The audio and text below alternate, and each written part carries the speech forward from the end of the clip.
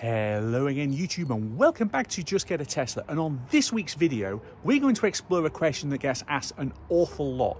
Can you own a car like this and only charge it off a domestic socket?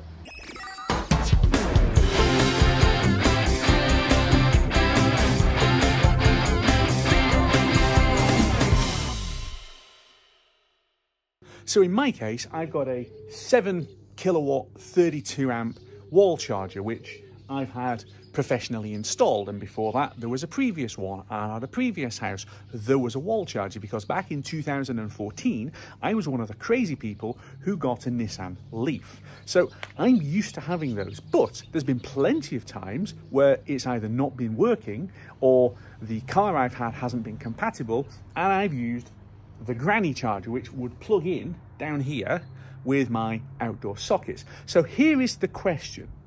Can you live without having the fancy and faffy wall box, if I actually get it on camera as I'm talking about that? Can you just cope with a trickle charger, even if you've got a big battery like on my Tesla Model Y? So the first thing that we're going to do is to double check the rate that we get using the wall box. So charging, I usually have to set um, off overnight, but as you can see, I'm on 46% at the moment. I've actually got to go and run a couple of trips today, so I'm not going to charge it now. But first of all, let's just see what we get when we actually connect on to the wall box. So as you can see, it's now ramping up. Four kilowatts. Keep on going, five, good. So there you go. It's now charging at, well, it says eight, it's seven point something effectively. Yeah, I mean, you can do the maths, it's seven point something kilowatts. So that is charging up at, I think I need to get out and switch the car off. And then, okay, yeah, there you go. It is not giving me the miles per hour thing. Does it only give you the miles an hour display on a supercharger? Anyway, as you can see from 46%, it's not going to take me very long to get up to 80% power. So let's go and unplug that now. You can see it charges pretty quickly. So because we're doing this properly, we are going to switch the thing off at the wall so that we can't accidentally forget that we're doing this thing. So that's now off and just in case wifey forgets. I'm even going to remove the cable from the unit and stow it. So that is now dead. The cable is no longer in use. Ugh, that needs a clean. And we are going to get the three pin out. But before we do that, I'm going to go and run a few errands. It's many hours later. I've been out and done lots of various jobs, including getting these I have shoved the car well, well, well away from a charge point because we are going to simulate what it is to not have a charge box. So what I'm going to have to do is get an extension lead from my wall socket, which is behind Blue Midget there, to be able to run it out to the car. Extension leads are bad, aren't they? A minor problem. I have got a I think 25 meter extension reel cable, which is now plugged in back there, but it doesn't actually reach quite as far down as I was going to park the car. So that's sat down there. It would go to about maybe there, but it's not actually going to reach. So let's get the granny charger out and have a play. It might be that this simulation is going to mean that I park the car maybe there or somewhere like that. Either way, a long, long way from a charge point.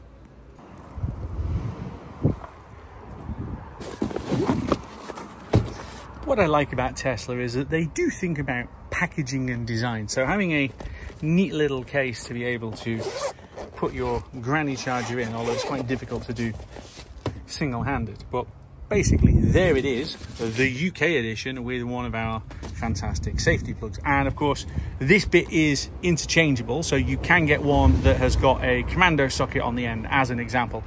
This baby will do 32 amps if you've got the right kind of socket and the right kind of connector to plug it into. In my case, we have got 240 volts on one of these. So let's get on with it.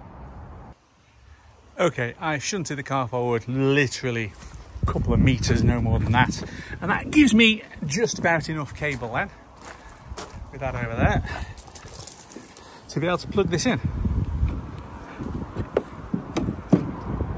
Yeah. And it's out of the way of the door. And it'll stay out of the way of us getting into the garden. Okay, so this I think is the important point, right? This is a proper working cable. So this is a 13 amp continuous load, excuse me, cable, which is absolutely perfectly capable of taking the kind of power that this is going to be taking. But the other point, and this is, I think, where there is some hesitation about extension cables. If you go out and buy a cheapo cheapo 10 amp rated cable, you're gonna have a bad time, okay? Also, if you are plugging into a socket which hasn't actually been tested for a while or has got old wires or frayed wires or anything like that, once again, you're gonna have a bad time. So the key trick here is to make sure that your wiring, if you're plugging into uh, a domestic socket has been checked and that you've got an extension cable if you're using one that is suitably rated for the load that's going to be taken. Let's see what we're going to get. So, as you can see, I have got a charging timer set, which we're not going to use while we're here. So what we're going to do is turn that off. Turn the charging timer off, because that's a bad idea when you're charging on teeny tiny amounts of power as I am now. So, as you can see, two kilowatts. That is literally what you're going to get on 10 amps. Now, what I would suggest is that if you're not sure about your cable, turn it down. Because if you go over here and onto charging, okay, you can fiddle around with the amount of power that's being taken. So as you can see, I'm on 10 amps. That's the maximum it'll do, but I could turn it down to say 8 amps if I was feeling a little bit worried about the wiring and that is probably a sensible idea but I'm quite confident that all of my wiring is good because it's been installed professionally and it has been checked. So we're going to go at 10 amps and at 10 amps from 15% as you can see it is going to take basically a full day 24 hours almost to get back to 80% not even to 100% this thing is slow. But the question is is that really a problem? Because here's the truth, guys. Most of the time, your car is sat parked up. Most of the time. If you think about the use of your car, it spends more time parked than it does for anything else. So if you have to trickle charge and it's going to take a day, okay, if I needed to go somewhere in a hurry tomorrow, that'd be a problem. But there's a reality of I would keep topping the thing up. So hopefully it wouldn't get down to 15%, which means it's not going to take an eternity to get up to something a bit more sensible. So we are going to do this little experiment over the next week, maybe two, something like that, where I am only going to be charging on the granny charger on the extension cable. And the reason for that really is, I think, pretty straightforward, which is so many people have said, oh, well, can you have an EV if you don't have a wall socket and you can't plug the thing in like that? Well, okay, I've now taken that out of use, but most people have got a three pin socket okay? It might be if you're in a terraced house or something like that that it's not necessarily an easy reach from the car which is where an extension cable comes in. And here is the real premise for this video my friend jim whose house I have charged up at on his charging box. He has, instead of just getting a Tesla, despite watching all of my videos and being my so-called friend, has decided to buy a Mini an electric Mini, and now his wall box has sat down on the job in protest. So he is now saying, uh, how do I charge my car? Uh, I can't use it. And I was like, mate, you have got sockets, plug it in. And he said, yeah, but the power socket is nowhere near where the car is. Well, that's where the extension lead of joy comes in. Run the extension lead, providing that it's a sensible one, you're not going to have any problems. So it is now six o'clock on Saturday. Let's see how we get on.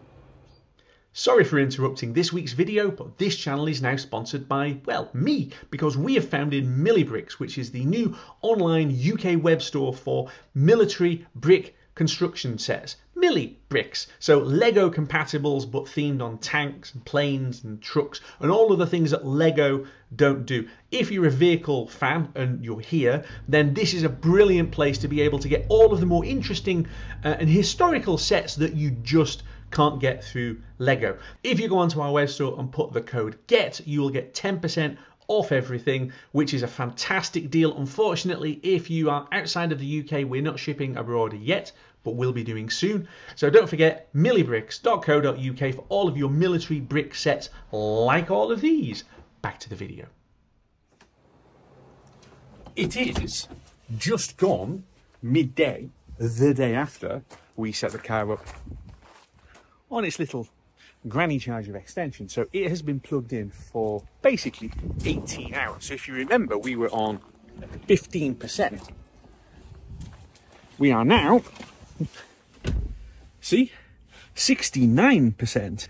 So I haven't gone anywhere since we parked the car up yesterday evening. So if you think about basically you've been out for work or something and the car had really been run down and you got back in, for a weekend, if you were then going back out, it has added a decent amount of charge. We will need, obviously, to try and have the base level of charge higher than 15% because otherwise it takes a while. But so far, Granny Charger not causing any issues at all. Let's just do a quick sense check of all the connections. So very, very slightly warm, as is that one, but they're both at pulling power. The cable is absolutely stone cold. So no issues with that. And if we go to the other end, yeah, I left my hat out last night. Good job, it wasn't raining. And if we go over to the extension ring, so again, that is ever, ever so slightly warm, as is that, as they would be, but basically, no issues with it at all. We're the best part of a month on from the last clip and we've been using the granny charger entirely exclusively for all of that time. And my conclusion from doing so is that little, where is it, there? That little plug is actually really, really good. So providing that you keep plugging the car in, and there is a maxim with electric cars of always be charging. And I think that if you're using a granny charger, that's definitely the case. Keep topping the thing up little and often, but it does put a decent amount of charge in for the, let's be honest, for most people, 10 to 12 hours a day overnight that the car is just sat there going absolutely nowhere. You can manage on a granny charger completely fine if that's all that you've got access to. So don't worry about the need to be putting in expensive wall boxes or there's not a location for it or any of those other things. Even if you've got a decent sized battery in a bigger EV like my Tesla Model Y, it will work. So there is probably a bit of a mea culpa because I did a video early in the days of this channel where I basically said the granny charger, what's the point? Um, I was wrong. The granny charger is really, really useful. And as I said right at the beginning of the video, if you buy a different connector for it, it will go all the way up to 32 amps on the right socket. So actually, it is the fancy wall boxing. All you need to do is to have a commando socket fitted and the existing granny charger is the turbocharged higher speed seven and a half kilowatt monster that you would expect it to be. And on that intriguing note, we're going to leave it there. Thank you so much for watching. If you haven't liked and subscribed, please do so now. And also, if you want to buy your own Tesla so that you can use a granny charger, please use my referral link. You can get a thousand pounds, thousand euros, thousand dollars, a thousand whatevers off the price of a car if you use the referral link that's down there. And while I wait for these noisy mechanical cars to go past, um, I'm going to wrap it up. Thanks very much, and I'll see you back here very soon on Just Get a Tesla.